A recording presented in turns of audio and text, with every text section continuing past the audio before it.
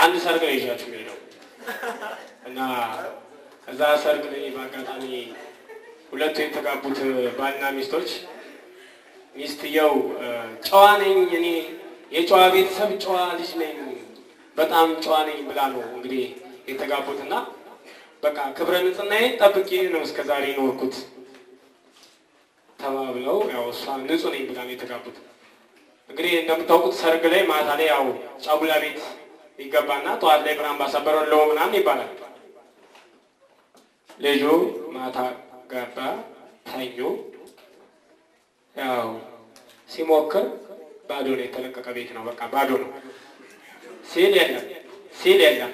አዋረደች። አሁን ምን ላድርግሽ? በቃ ተዋረድኩኝ። ምንድን ነው የማደርገው? አሁንም ቢል ባዶ ቤት በቃ ሰፊ ነው። ከዛ እዚህ ከዚህ እዛ ከዛ እዛ አላባራት በቃ ጨነቀው።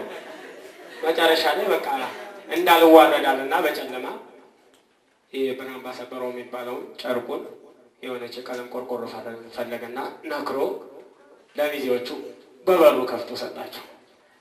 በአጋጣሚ ለካ የነከረው አረንጓዴ ጨርቅ ነበርና ሚዜዎቹ ምን ብለው ጨፈሩ መሰሎች? ሐሞቱ አንቀደደሉ ሐሞቱ አንቀደደሉ